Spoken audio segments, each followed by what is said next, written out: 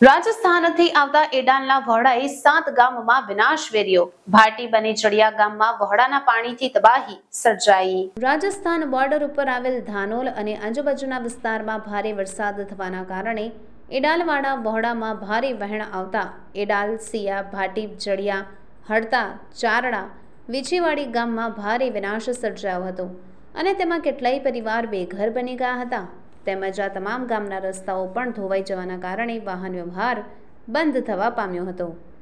ધાનેરા તાલુકાના જડિયા ગામે વહોડાએ વિનાશ વેરતા ભારે નુકસાન થવા પામ્યું હતું. આ બાબતે ડીએમ ન્યૂઝ ચેનલની ટીમ દ્વારા વહોડા બાબતે ગ્રાઉન્ડ ઉપર પહોંચ્યા હતા. વહોડો ગુજરાતના છેલ્લા ગામ એડાલ ગામ પહોંચી આ બાબતે જાણકારી મેળવતા તે રાજસ્થાનના ધાનોલ, ભમરિયા અને વડગામ તરફના ગામડાઓના ખેતરોમાંથી પાણી આ એડાલ ગામના વહોડામાં વર્ષોથી આવે છે, પરંતુ ભારે વરસાદના કારણે આ પાણીમાં વધારો થવા પામ્યો હતો. અચાનક રાત્રે આ પાણીના વહોડામાં પૂરની માફક આવતા એડાલ ગામના વહોડાના આજુબાજુના ખેતરોમાં ફરી વળ્યા હતા અને ખેતરોના પાડાઓ તૂટતા તે પાણી સિયા ગામેના ખેતરોમાંથી ભાટીપ તરફના ખેતરોમાં જ્યાં વર્ષોથી વહેણ હતા, ત્યાંથી પસાર થતા ખેતરોમાં બાંધવામાં આવેલ પાડાઓના લીધે ખેતરોમાં ભરાયેલ પાણી પણ આ પાણી સાથે ભળતા વહોડાએ રૌદ્ર રૂપ ધારણ કરતા ભાટીપ ગામે ભારે વિનાશ વેર્યો. ત્યાંથી આ પાણી આગળ વધતા જડિયા અને ભાટીપ ગામના ખેતરોના પાણી વધવા લાગતા તે પાણીએ પણ અતિ ભારે રૌદ્ર રૂપ ધારણ કરતા જડિયા ગામમાં પણ પાણી ફરી વળ્યા હતા. સાથે જ ભાટીપ ગામના સુરેશભાઈ વાજાજી કુંભાર પોતાના બે ભાઈઓના પચીસ જેટલા લોકો સાથે બેઘર બનાવીને ખેતરમાં રહેતા હતા. પરંતુ અચાનક જ આ પાણી આવતા આખા ખેતરને ચીરી નાખીને બનાવેલ ઘર, બોર અને પશુઓ સાથે તમામ પાણીમાં તણાઈ ગયા હતા. તેઓ પોતાના પરિવારને લઈને મોડ ઘરની બહાર નીકળ્યા હતા અને આ લોકોને સરકારી તંત્ર પણ મળવા ન ગયેલ હોવાથી તેમણે ડીએમ ન્યૂઝ ચેનલ સમક્ષ પોતાની વેદના ઠાલવતા સુરેશભાઈ કુંભારે જણાવ્યું કે કુદરતે એક જ ઝપટમાં અમારું બધું જ લઈ લીધું. ઘરમાં દરદાગીના પકવેલ ધાન્ય, ખાવા માટે ધાન્ય અને બોર સાથે આખે આખું મકાન પાણીમાં જતું રહ્યું છે. હાલમાં ઉપર આભ અને નીચે ધરતી, નીચે બેઠા છીએ. તલાટી કે સરપંચ પણ બીજા દિવસે અમારી ખબર પૂછવા માટે આવેલ નથી, જેવા તેમણે આક્ષેપો કર્યા હતા.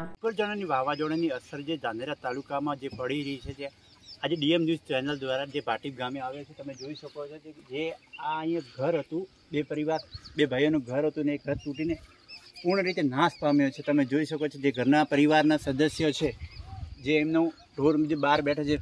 તમે જોઈ શકો છો આપણે પરિવાર સાથે પણ વાત કરીશું. માલ તમે જોઈ શકો માલ નુકસાન જે ઘરનું જે દાગીના ટોટલી રીતે સંપૂર્ણ રીતે નુકસાન પામ્યું છે અને બે ઘર બે ઘર થયા છે તેવી હાલત જોવા મળી છે. પરિવાર સાથે વાત કરશો. શું નામ છે આપનું? સુરેશભાઈ વજાજી કુંભાર આ કેવી રીતે આ બનાવ બન્યો? આ ગઈ પેલા ગઈ આગળ રાતના અગિયાર વાગે પાણી આવ્યું તો એકદમ અચાનક બરોબર? અમે બધા સૂતા હતા. એકદમ પાણી આવવાથી અમારે ચપ્પલ અમે લેવા નથી રહ્યા બહાર નીકળ્યા. એકદમ પાણી એટલે બધું તોડી નમણ ભમણ કરી નાખ્યું. બધું સામાન બમાન બધું અંદર. ઢોરે અંદર જતા રહે ચાર ભેંસો હતી ચાર ગાયો હતી બધું અંદર તણાઈને જતું રહ્યું હોય. હાલી અમારી પાસે કશું જ નથી. ખાલી પહેરવાના ચપ્પલ બી નથી. તંત્ર દ્વારા કોઈ અહીંયા તો તમારી મુલાકાતે આવ્યું છે? હવે હજી સુધી કોઈ આવી નથી. ન્યૂઝ વાળા આવે આયા છે.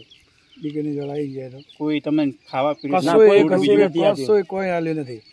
નથી સરપંચ આવ્યા નથી સરપંચ બીજા કોઈ આવ્યા નહીં હજી સુધી આ પરિવારની મુલાકાતે હજી ગામની મુલાકાતે દ્વારા કોઈ આવ્યું નથી. હવે જોવાનું એવું રહ્યું છે ક્યારે તંત્ર જાગશે અને આ પરિવારની મુલાકાત લઈ અને એમને સહારો આપશે. DM news Banaskantha. નામ પર સમર્થાજી સોમાજી. જી આ શું થયું બાબત? ઉપર નારણજી સોમાજી. પછી અચાનક આ મારા કાકા છે, વજાજી છે. આ સુરેશ એ મારા કાકાનો દીકરો ભાઈ છે. એમનાથી ત્યાંથી પાણી આવતા અમને જોણ મળી એવી રીતે કે એમના વાસણ અમારા કરી આવ્યા એટલા માટે અમે જોણ કરી કે આ પડી ગયું છે. એટલે એટલી વારમાં તો અમારે પાણી આવી ગયું. એકદમ અચાનક. અચાનક આવ્યું એટલે પૂરેપૂરું કેળા હમણાં પાણી આવી ગયું. હવે હવે આપણે ક્યાં જશું? એટલે ઢોર બીજા છોડતા છોડતા તોય અમારે એ પાળા ઉપર ચડાવતા તો એક ગાય અને એક ભેંસ ગઈ. એ ભેંસ હજુ મજૂત પડી છે. હવે એ જોણપાળ કરે તો. નગર કંઈ અમને હજુ સુધી કોઈ ગોમવાળા આવ્યા નથી. અને સતત અમે બેઠા છીએ.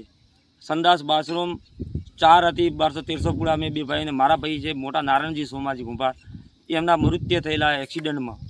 ત્રણ બે ત્રણ મહિના નથી થયા છે એમના માટે અમે બધા એમના નાના નાના બચ્ચા છે. એ અને હું એક જ સંભાળવાવાળો બીજું કોઈ નથી.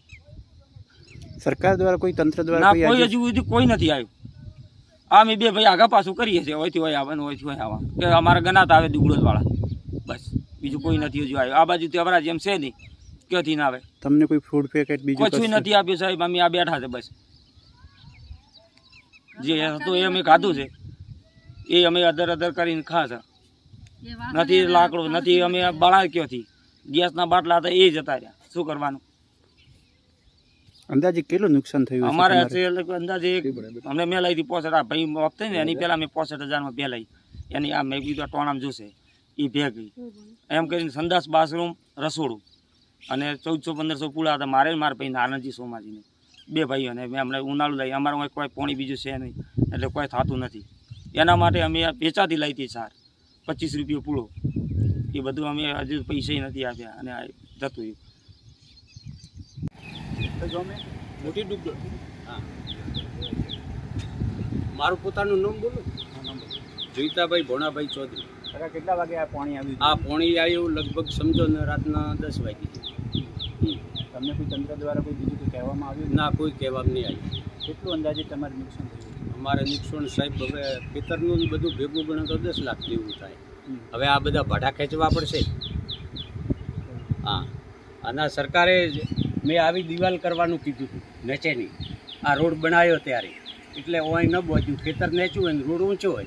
રોડે તોડી તોડી પોણી ઉપરથી આવ્યું. એટલે સીધું આ બાજુ જતું રહ્યું.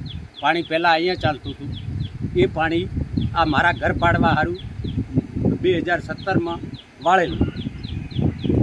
ત્યારથી મોડીને ઓર્ડર આવેલો તોડાવવાનો આ જગ્યા. પણ છતાં પછી હું સરપંચ હતો એટલે મેં રહેવા દીધું.